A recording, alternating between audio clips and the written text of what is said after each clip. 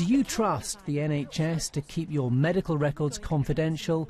That goes to the heart of this issue. The plan to collect and share medical data from GPs affects everyone whose family doctor is in England. Due to begin in weeks, it's been delayed till the autumn.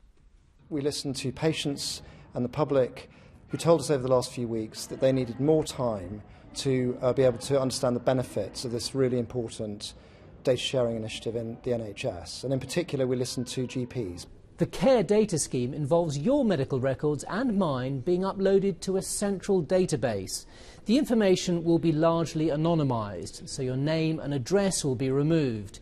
It will allow researchers to monitor drug treatment and compare health outcomes across England.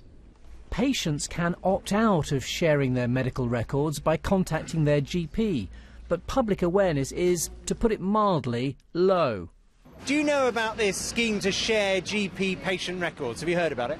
No, not at all. Not heard of it. Sorry. Unfortunately, they, I don't think the government have got, very, have got a very, very, very good record for uh, computerisation, unfortunately. But I think if you do get it off the ground, I think it could work. The NHS has been collecting hospital data for decades to good effect. It allows death rates to be compared and helped reveal scandals like mid-staffs. NHS England says this anonymised information has never been breached, but privacy campaigners remain unconvinced. The NHS England team needs to do much more to ensure patients know what their choices are and that the risks involved in this scheme to their privacy are very real.